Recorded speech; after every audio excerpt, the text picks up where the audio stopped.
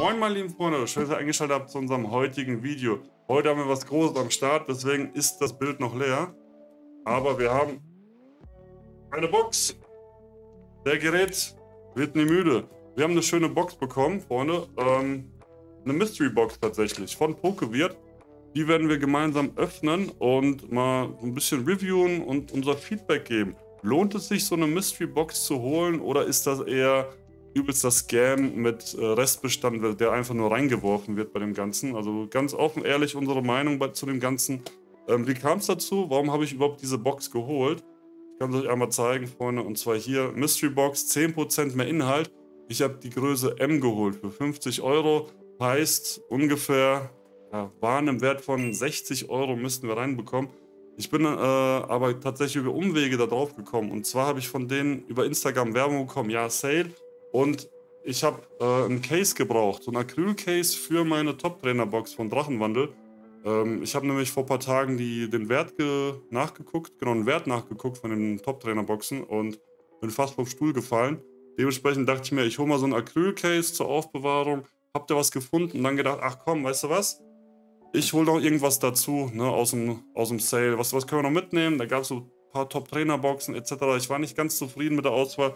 Dementsprechend dachte ich mir, komm, wir nehmen mal so ein Gerät hier mit und schauen uns das Ganze im Video gemeinsam an, Freunde. So, Freunde, wir öffnen das Ding einmal gemeinsam und wie gesagt, wir schauen, was dann drin ist und ob sich das Ganze echt lohnt oder wirklich eine Resteverwertung ist. Wir haben auch bei dem Ganzen mal ähm, den Code vom guten Serhasch ausprobiert. Da gibt es ja ab 30 Euro einen gratis Booster. Das würde mich jetzt auch nämlich mal super interessieren, ob wir denn hier einen Müllbooster bekommen, so Resteverwertung irgendwie la Pokémon Go oder packen die vielleicht doch schon was, was Gescheites damit rein für einen. Ich hatte den geschriebenen Notizen, bitte gib mir äh, deutsche Produkte, würde ich mich freuen, tatsächlich, oder präferieren. So vorne, da ist das Ding. Ah. Da seht ihr es einmal, ist noch alles zu. Ich hole die Sachen einzeln einmal raus, ne? Und dann gucken wir uns das mal an, was die hier haben. Also wie gesagt, Acrylcase, das ist von mir. Wir haben hier eine kleine Box. Okay, das ist mein Acrylcase, das ist schon mal da. Ach, und ein Booster Pack. Es ist Obsidian Flammen in Englisch. Neuestes Set ist okay. Oder so als gratis Booster, was man mitbekommt. Obsidian Flammen, Freunde. Kann man mitnehmen, kann man annehmen. Ähm, ist jetzt kein Schmutzbooster, ähm, irgendwie, weiß nicht, Astralglanz oder sonst irgendwas anderes, aber ist eine gute Auswahl. Ist jetzt auf Englisch, das finde ich ein bisschen schade, weil ich halt in den äh, in Anmerkungen reingeschrieben habe, bitte deutsche Produkte in die Mystery Box packen.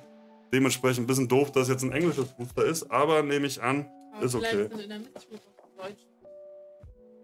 Vielleicht sind ja in der Mystery Box nur deutsche Produkte drin, würde mich auf jeden Fall freuen, ähm, wenn das Ganze der Fall ist. Ansonsten macht es gar keinen Sinn, dort Anmerkungen zu geben.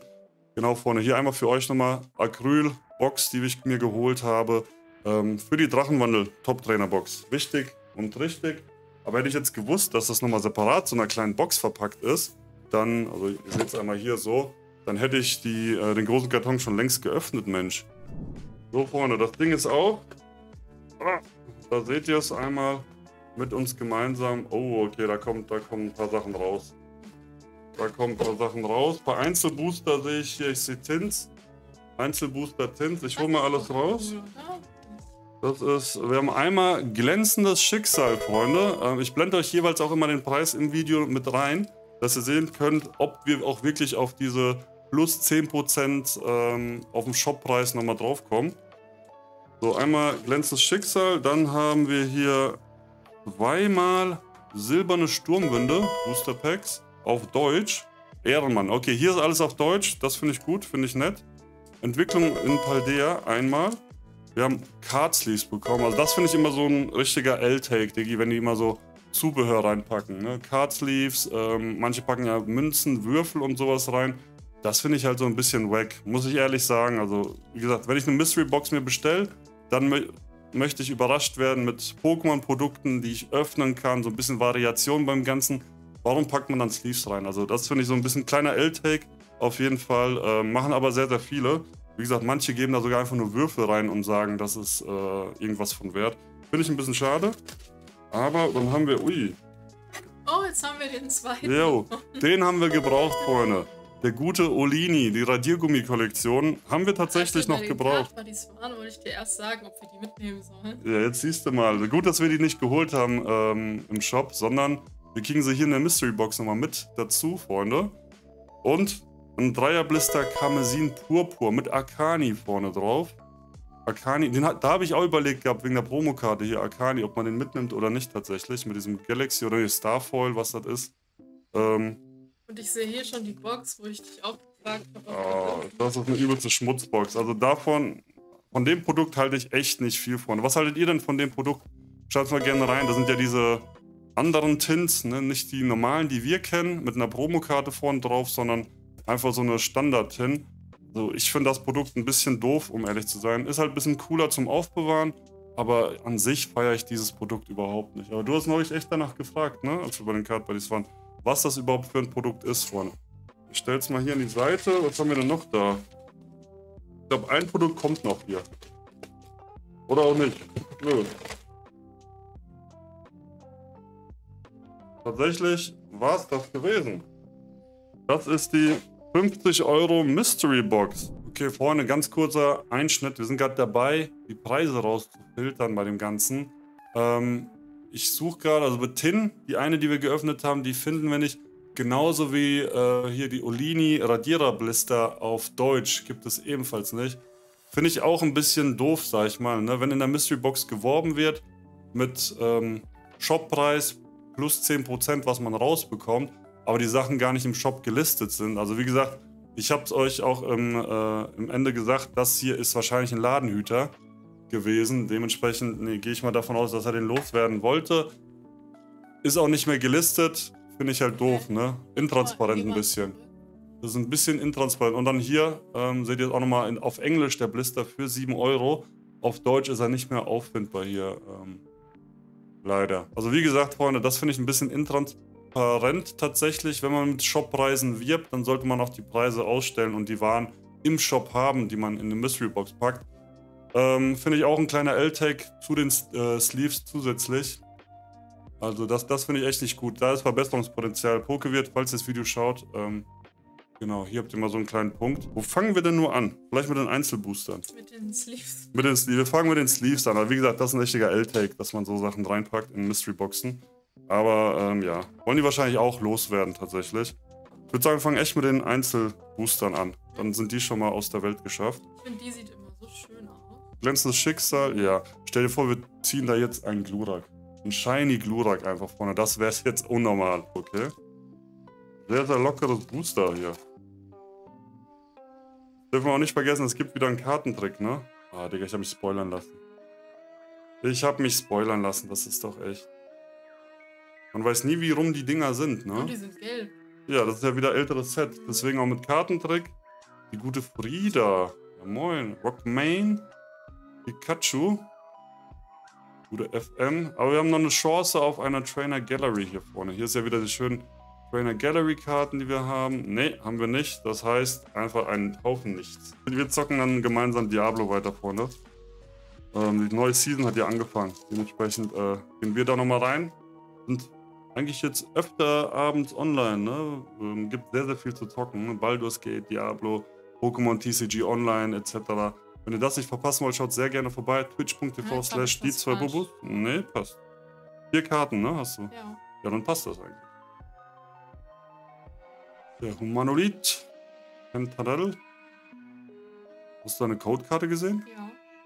War die weiß oder schwarz? Danke. Okay, safe war die weiß. Safe war die weiß. Ja, schwarz. Echt? Populär. Musst du hier. Oh, eine Holo-Karte. Hashtag immerhin eine Holo, Freunde. Das ist Damals war es noch was wert, aber trotzdem Grütze. Tatsächlich.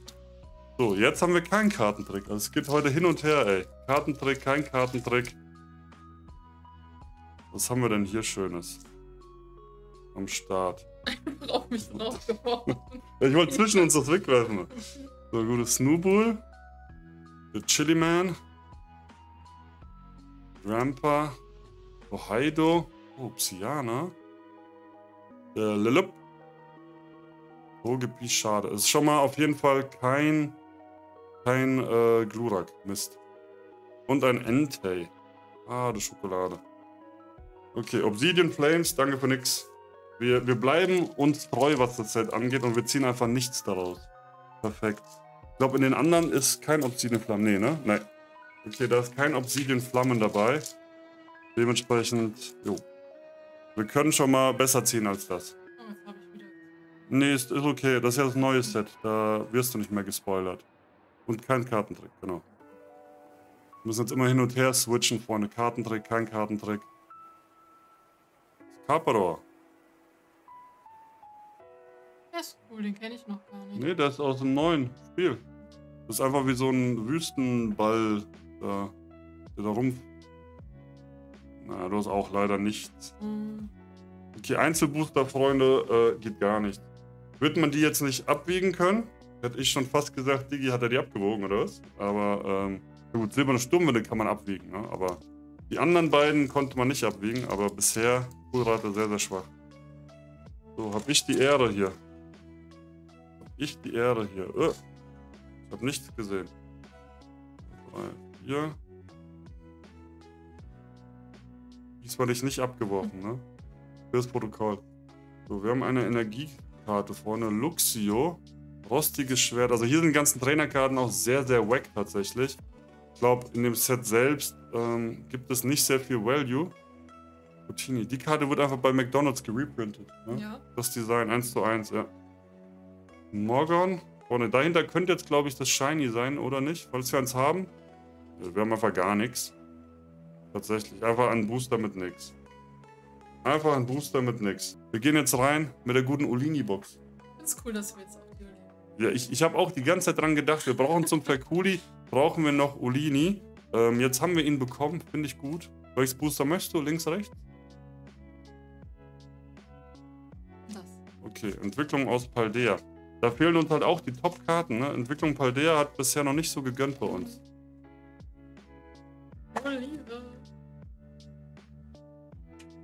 So vorne, da ist der Bro. Wie gut, der hat auch einen Ehrenplatz verdient in Der unserem Schrank. Ich glaube, ich glaub, der hat auch ein bisschen Schiss, ey. Vor uns. Wenn wir nicht gut pullen, komm her.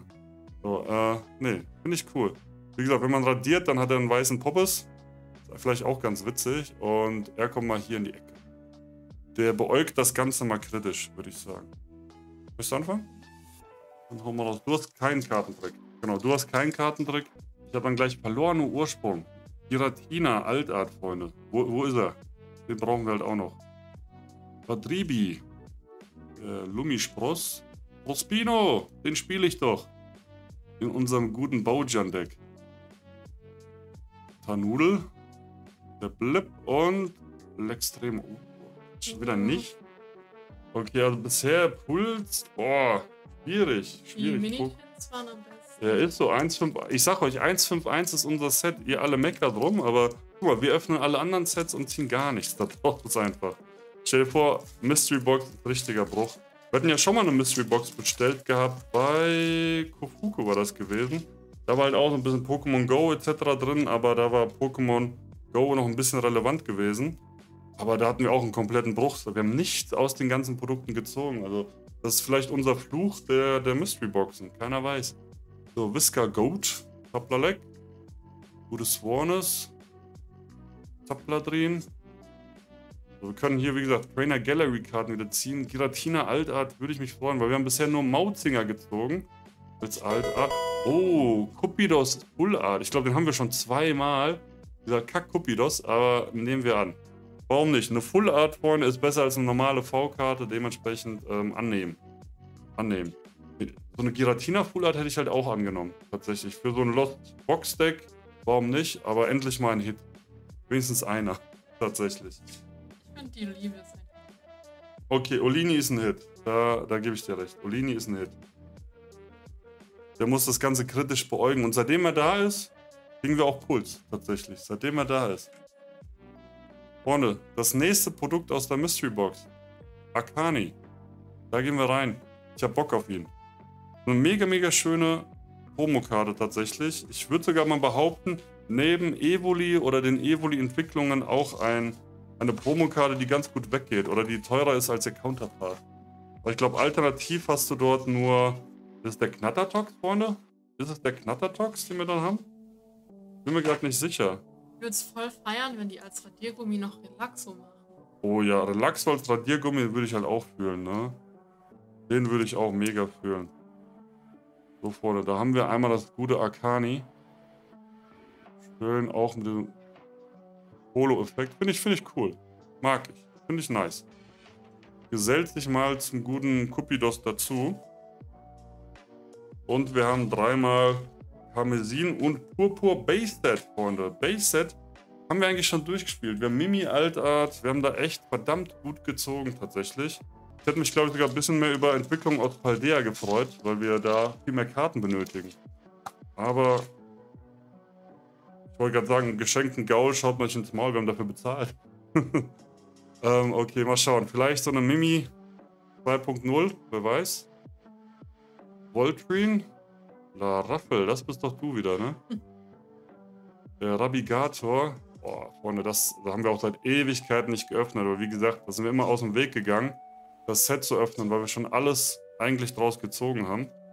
Vielleicht, wenn wir gleich die Pin nochmal öffnen, Freunde, brauchen wir einen Kartentrick. Weil da bin ich mir nicht mehr sicher, was wir denn in der Tin für, für Booster haben. Der Flanival.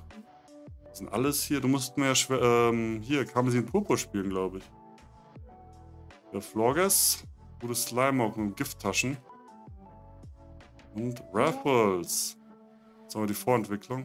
Und Miraidon. Hm, leider nicht EX. Vor dem Miraidon, wie gesagt, so ein Deck aus Miraidon will ich mir auch gerne mal zusammenstellen. Da fehlt mir aber Miraidon selber. Da fehlt mir einfach der gute Miraidon. So, Akani, komm. Kann doch nicht sein, dass wir nur Promokarten als gute Hits hier haben. Das wäre echt äh, ärgerlich. Hier vorne Magneton, der gute Wummer. Ruf. Mobtiff. Ansonsten kommt jetzt bald auch Paradox Rift raus vorne. Da werden wir auch nochmal reingehen, Display öffnen. Vielleicht das ein oder andere Produkt ebenfalls. Mehike und... Das ist schon wieder eine richtige Null-Nummer 3er Blister. Ich habe Obsidian Flammen Flashbacks. Also das kann doch nicht sein. Freunde. Ist das, ist das bei euch auch so schlecht von den Pullraten her? Aber Last Chance. Wir haben noch die Tin hier. Einen guten Wolverock. Fragosso. Vishu oder wie der heißt. Und unser Boy. Orenta. Mit der Lauch. Mit Larissa am Arm. Okay, ähm, ich glaube, den müssen wir mit der Schere öffnen tatsächlich. Aber wie gesagt, ich habe solche Tins mir noch nie gekauft. Dementsprechend bin ich mal gespannt, was wir für einen Inhalt haben und was für Booster Packs tatsächlich da drin. So vorne, wir haben... Ja, das, Oh mein Gott. Welcher Kampfstile. Oh mein Gott, Freunde. Nee, oder? Digga, Schmutz. Aber das verstehe ich halt auch nicht, ne? So Produkt, Inhalt so und Verpackung, ne? Das ist ja, das passt gar nicht zusammen. Da ist ja einfach nur Luft drin tatsächlich, ne? Und eine Evoli-Münze nehmen wir an, nehmen wir mit. Aber ansonsten, das ist ja für drei Booster-Packs, da gibt es äh, schlauere Verpackungen. Wenn ihr überlegt, in den Celebration Mini-Tins haben die auch drei Booster-Packs reingepackt. Von der Verpackung her viel, viel schlauer gewesen. Aber hier ist Kampfstile drin. Oh nein. Oh no, Freunde. Das ist ja richtig Grütze. Kampfstile, zweimal verlorener Ursprung. Das war vielleicht vor einer Zeit, war das ganz cool, verlorene Ursprung zu öffnen. Aber Kampfstile, der macht alles kaputt. Möchtest du es öffnen? Okay. Den Schmutz. Komm, mach mal den Schmutz auf. Dass es ganz schnell hier weg vom Fenster ist. Kampfstile, Freunde. Boah. Da haben wir ja auch elendig schlecht gezogen. Das, das wollte keiner haben. Ich glaube, du kriegst mittlerweile immer noch Displays für, für knapp über 100 Euro tatsächlich. Krebetag. Schwerthold und Schildrich. Servus. Gute Snake. Ich glaube, in Strahlende Sterne war doch Sanaconda-Freunde in Altart, ne? War das, war das Strahlende Sterne? Okay, hier ist schon mal nichts und dahinter auch nicht. Ich sag ja, das ist ein... Kampfstile ist ein Set, Freunde. Ehrlich. Das ist ein Set. Okay, zweimal verlorene Ursprung. Zweimal Chancen auf Giratina Altart. Die tendiert halt echt nicht vom Inhalt her. Ne? Also mu muss man schon sagen. Ich, ich verstehe, warum die nicht weggeht, auf jeden Fall. Ich habe wieder einen V-Star-Marker. So, Freunde. Was haben wir denn Schönes hier? Seemon im Hy Hydrostrahl. Ich glaube, der ist gar nicht mal so schlecht. Ne? Ähm, in manchen Decks, so ein paar Fun-Decks mit Seemon, Sedra King. Kann man eigentlich ganz gut spielen. Der Paragoni. Mahakauni. Blitzblitz. Schneebedeck. Boah. Was ist das für eine Pullrate bei uns? Ich verstehe es echt nicht. Einen haben wir noch. Alter, aus der gesamten Mystery Box vorne ein Hit und Arcani. Öf. Sage ich nur. Öf.